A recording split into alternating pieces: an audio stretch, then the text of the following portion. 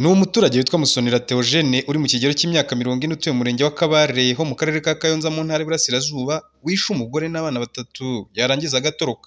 Nk'uko umunyamabanga nshingwabikorwa w'umurenge wa Kabare Longine yabitangarije umunyamakuru wa BTN TV, ngo gusa igiteye urujijo ni uko uyu muryango utari ubanye mu makimbirane. ni umugabo witwa musonera theogene uri mu kigero cy'imyaka mirongo ine ejo ku itariki cumi n'eshanu yishe umugore we n'abana be batatu giraneza gentille w'imyaka cumi n'ibiri manzi fabrice w'imyaka icumi na uwihirwe keve w'imyaka ibiri akaba yarabicishije akoresheje umuhoro.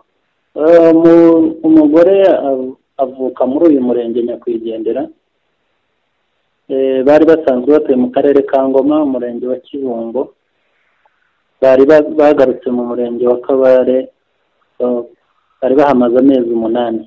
Oya nta makimbirane bari basanzwe bafitanye ko nk'uko biham- bihamwa n'abaturanyi be ndetse n'umu- n'umuryango w'umugore nyakwigendera ko n'ubundi bari basanzwe batuye.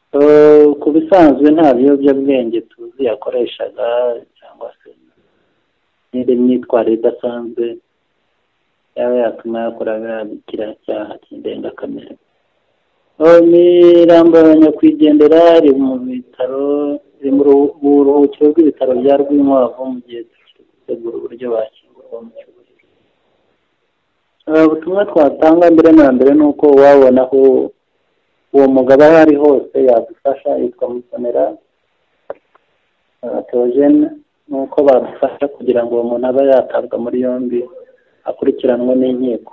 Ubutumwa bwa kabiri ni ukwihanganisha umuryango wagize ibyago ubwa gatatu ni uko nk'abaturage muri rusange b'umurenge wa kabare byabaye bidasanzwe kandi nta muntu ukwiye ku- kwihekura kwica umugore n'abana batatu ntabwo- bisanzwe Nyuma y'uko Musonera Theogene akoze aya mahano akaba yahise atoroka aho ari gushakishwa n'inzego z'umutekano. Naho imirambo ya nyakwigendera ikaba yahise ijyanwa mu bitaro bya Rwinkwavu kugira ngo ikorerwe isuzuma. Fulgence Mubashankwaya, BTN TV, mu murenge wa Kabare mu karere ka Kayonza ho mu ntara y'Iburasirazuba. ni urubyiruko rwo mu bice bitandukanye ruvuga ko ngo rubabazwa n'amakuru akwirakwizwa n'abatifuriza ibyuzu u Rwanda ngo harimo n'abavuga ko u Rwanda rwiba amabuye y'agaciro muri Kongo bakavuga ko ngo nta mutima mubi agira ku buryo yagera ku mupaka ngo akatasubirayo umva amabuye ntabwo afite umutima mubi wo kuza ngo agere hariya ku kivu yongere asubire muri kongo yarambutse rero na hano mu rwanda turayafite. Wenda uhere hano muri rutsiro mu murenge wa, mukura mu murenge wa rusebeya ndetse no muri uyu murenge uyu nguyu wa kivumu. Nta hantu na hamwe wagera ngo ntubone ubucukuzi bw'amabuye y'agaciro. Ayo mabuye y'abakongomani bazayagumane natwe dufite ayacu. Dufite amabuye ugeze mu karere ka ngororero inganda ni munange. Ugeze muri muhanga ni inganda gusa. Ubwo rero ni ukuvuga ngo uyu munsi nta rwitwazo na rumwe bashobora kuvuga yuko dukoresha amabuye y'iwabo. Amabuye y'agaciro aba mu butaka kandi natwe ubutaka turabufite. Ntabwo yagera rero hariya ku kivu ngo asubire inyuma ahubwo natwe ashobora kuza akaba yaza hano. Ndaguha ingero nk'iwacu eh, nakubwiye ko mvuka mu majyepfo. Iyo ugeze i muhanga ubona hari amabuye y'agaciro. Even n'aha muri rutsiro aha turi uyu munsi hari za orufuramu nahoze mbibona ah, twarahasuye hari za korota nahoze mbibona twarahasuye. Uri kubona yuko amabuye y'agaciro ntahatari kandi niyo ubonye ubucukuzi bw'amabuye y'agaciro hano mu rwanda uri kubona ko biteye imbere. Abavuga rero yuko dushobora kuba twaba tw- du- dushaka amabuye y'agaciro mu bindi bihugu ibyo barishuka cyane. Ahubwo ni uko abikoresha ku mbuga nkoranyambaga atageze kuri tere natwe rero nk'urubyiruko natwe izo mbuga nkoranyambaga turazikoresha. Iyo abivuze natwe tumwereka yuko n'iwacu mu butaka bw'iwacu ayo mabuye y'agaciro ahari kandi mu buryo bugaragara. Amabuye ntabwo ari amagome nta n'ubwenge agira. Ni ukuvuga ngo ubutaka dufite bukomeza muri kongo uretse umupaka bakasemo ibiri mu butaka bwa kongo byaba no mu rwanda. Bakomeza bavuga ko babivuga ari inkoramahano baba bagamije gusebya igihugu no gusenya ibyiza u Rwanda rumaze kugeraho. Ni politiki yo kugira ngo ba- ba- bakunde babone uko bateza imvururu gusa. Ni uburyo umuntu aba ashaka gusebya igihugu cyangwa se iyo igihugu kiri gutera imbere cyangwa se ngo iyo umuntu aguhiga uba ushaka kugira ngo muhiganwe kandi bidashoboka. Ni na yo mpamvu rero iwacu ibyo byose natwe turabifite amabuye y'agaciro arahari ibikorwa remezo turabifite kandi n'uyu narebye ubona ibikorwa dufite biruta iby'aho handi abo bashaka kuvuga yuko hari ibyo twatubiba cyangwa n'ibindi byose. Bakomeza bavuga ko ngo nibadahinduka bazapfa nabi ngo ariko kandi nibahinduka igihugu kizabahundagazaho urukundo. Amere kubabwira yuko bazicwa n'umushiha. Kandi umushiha uwo wishe apfa nabi. Ubwo rero abo bifuriza inabi u rwanda niyo mesaje nabaha. Bazapfa nabi. Ariko nibahindura. Bagakunda u rwanda narwo ruzabakunda. Profeseri Kubwimana Chrysologue wabaye mu nteko ishinga amategeko akanayobora komisiyo y'amatora y'umukuru w'igihugu mu bihumbi bibiri na cumi na karindwi. Avuga ko u Rwanda rukungahaye ku mabuye y'agaciro ngo dore ko nta mutima mubi n'ubugome agira nk'abatifuriza ibyiza u Rwanda. Eh, amabuye y'agaciro. Abanyekongo bari batwemeje ko ngo amabuye y'agaciro ngo abe i kongo. Eh, ariko ntabwo amabuye y'agaciro a- a- a- azi ubwenge n'ubugome agifite n'ubugome bwo kuvuga ngo turaje tugeze kuri frontier y'u rwanda turahagaze. Eh, aha ni rwanda ntimukomeze. Ntabwo bishoboka. Eh, ibitare byose ni amabuye muzabona aho bayacukura muri rutsiro n'ishyano ryose n'aha ngaha eh, bugufi yarahari. Ubu ngubu turayatunganya mu rwanda i kigali hari ngira ngo hari inganda ariko abanyekongo bati bayazanye bayavana i kongo babatunganyiriza mu rwanda.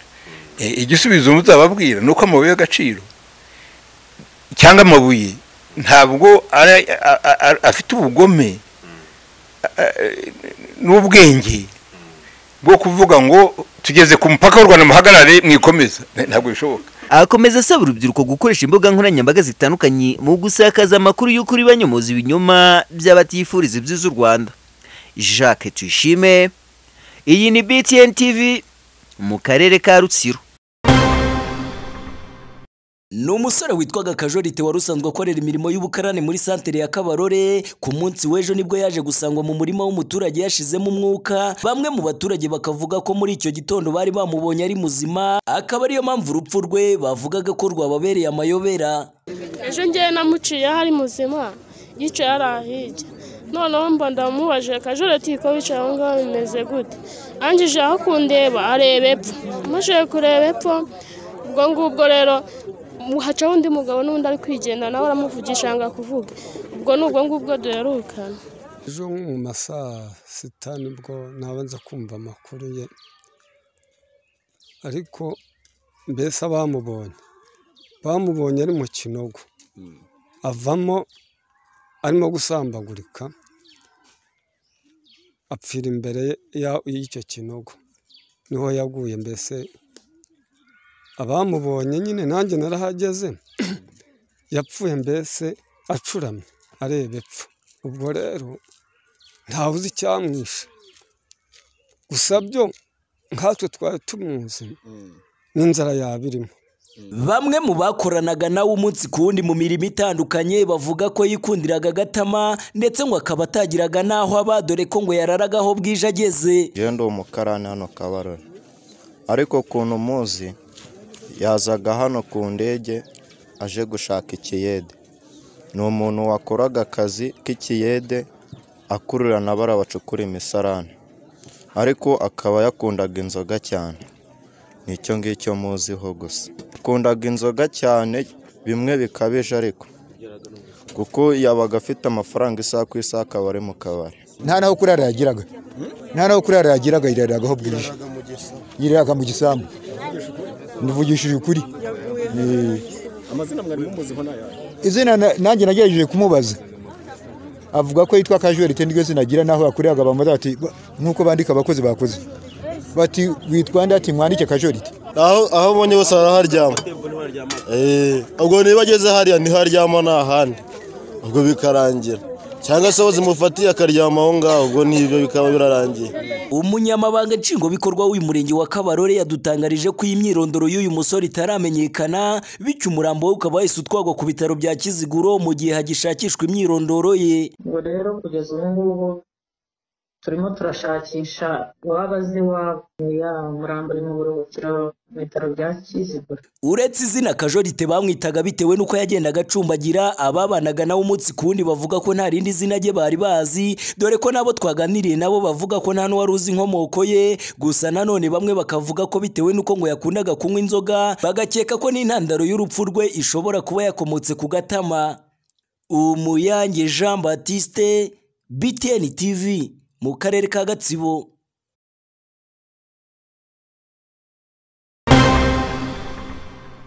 Ni abanyamuryango bakorera muri koperative copacomu kugeza kuri ubu barimo gutabaza. Barira yo kwarika ngo nyuma yo kwibasirwa n'indwara ziterwa n'umwanda bitewe n'amazi ubuyobozi bw'iyi koperative bukoresha mu nyubako babakodesha ngo bagenda bakavoma amazi yo mu gishanga akaba ariyo baha abakodesha muri aya mazu yabo. Bikabagiraho ingaruka z'uburwayi bwa hato na hato ngo ikindi aya mazi ngo akaba arimo umwanda mwinshi. Ubwo impamvu z'umutekano w'abaduhaye aya makuru badusabye ko nta mashusho yabo yashyirwa ahagaragara ndetse n'amajwi ngo kubera yuko baba biyambuye umugati. Ngo kandi iki kibazo n'ubusanzwe inzego zitandukanye zirimo rema ndetse na wasake bakaba barakimenyeshejwe. Ngo kopakomu oya papi. Nijwi gusa nta kibazo watubwiye se? Azongera guhahira. Papi tubabarire. Uvuze byakugeza ya muri biro hano baraguha amakuru bakwereke n'uko ayo mazi ameneka bakwereke n'icyo bayakoresha. Icyo kirahagije. Ibi byatumye twerekeza aho iyi koperative kopacom ikorera mu murenge wa gisozi mu gakiriro kaho. Batubwira ko umuyobozi w'iyi koperative ntawe uhabarizwa kuri biro ngo azaboneka ku wa mbere tumuhamagaye ku murongo wa telefone. Bwana kayitare jerome yanga kugira icyo adusubiza ndetse n'ubutumwa bugufi tumwandikiye ntiyabusubiza ibyatumye tuvugana. Na nkeramihigo emmanuel umuyobozi wungirije w'iyi koperative copacomu. Mu ijwi ryuje agasuzuguro ubwishongozi bwinshi. Avuga ko ngo ibi byakagombye kubazwa perezida ngo ikindi ntazi icyo wasaka ishingiraho ivuga ko bagikoresha amazi y'ibinyoga aturutse mu gishanga. Ngo kandi iki kibazo baragikemuye. Ikibazo se cyarakemutse ikibazo cy'ayo mazi n'intuza na yo na wasake ibivuga ite se kandi yaraje kaduha amazi kareba niba ibyo bintu bibangamye tukabi bakabishyira mu murongo bakaduha amazi bisanzwe ubundi mwari mwarabitewe n'iki imifuka ya wasake mugakoresha ay'igishanga reka reka utamfatisha mu muhanda icyo kiganiro wari kuntegura tukagikora. Niba wumvaga ko tuganira wagombaga kuba wanteguye nkaguha umwanya tukabivugaho. Kandi na perezida arahari ubashije kumuvugisha wamuvugisha ikibazo cy'amazi y'igishanga akoreshwa n'iyi koperative ngo mu gihe ayo bahawe na wasake bahisemo kutayakoresha ngo kugeza aho kuri ubu konteri bahawe. Ikirimo zeru bigaragara ko batigeze bakoresha amazi ya wasake binashimangirwa n'umuyobozi wa wasake. Ishami rya kacyiru aho ku murongo wa telefone yabishimangiye agira ati nitwa jeanne. Yego. Manager wa wasake kacyiru. Yego. Bamaze gusurwa inshuro ya mbere basuwe na na inspection y'umujyi wa kigali na smart kigali babasaba ko bakura amazi y'igishanga mu nyubako bagatandukanya iriya koneshe bari bakoze yinjira mu nzu abaturage bakoresha amazi yanduye kuko twarayapimye dusanga byujuje ubuziranenge. Tubaha na ripoti iyo ripoti twagejeje ku mujyi wa kigali umujyi wa kigali ndetse na smart kigali babasura inshuro ya mbere yego. babaha iyo rekomandasiyo yo gutandukanya amazi y'igishanga akaba ay'inkongi nk'uko byari bipuraninze bagakoresha amazi meza kugira ngo abaturage bo kugira gute kunywa amazi mabi. Inshuro ya kabiri basaba kugira ngo barebe niba rekomendashoni batanze barayimprimentinze. Basanga siri iracyari kwa kundi. Kugeza ubu nonaha amazi konteri twabahaye iracyarimo zero.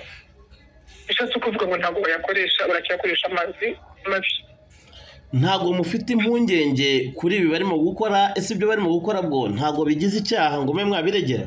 Kubera ko ikibazo twagishyikirije inzego zibishinzwe ari umujyi wa kigali hari n'abo bashinzwe inspektion na smart kigali ishinzwe isuku byari bikiri mu biganza byabo. Turacyagerageza kuvugana n'ubuyobozi bw'umujyi wa kigali ndetse n'abashinzwe igenzura ku cyo bagiye gukora kuri iyi koperative ya copacomu imaze kugira umuco wo guha abakiriya bayo cyangwa se abakodesha mu mazu yabo amazi y'umwanda dore ko ngo no mu bwiherero ahanini amazi bakoresha asa n'icyondo ngo akabatera uburwayi buterwa n'umwanda cyane cyane abagore ngo mu myanya y'ibanga habo hakomeje guhura n'ibibazo by'ingutu. Ibyo baheraho batabaza amakuru mashya tuzamenya kuri iki kibazo tukaba tuzayagarukaho mu makuru yacu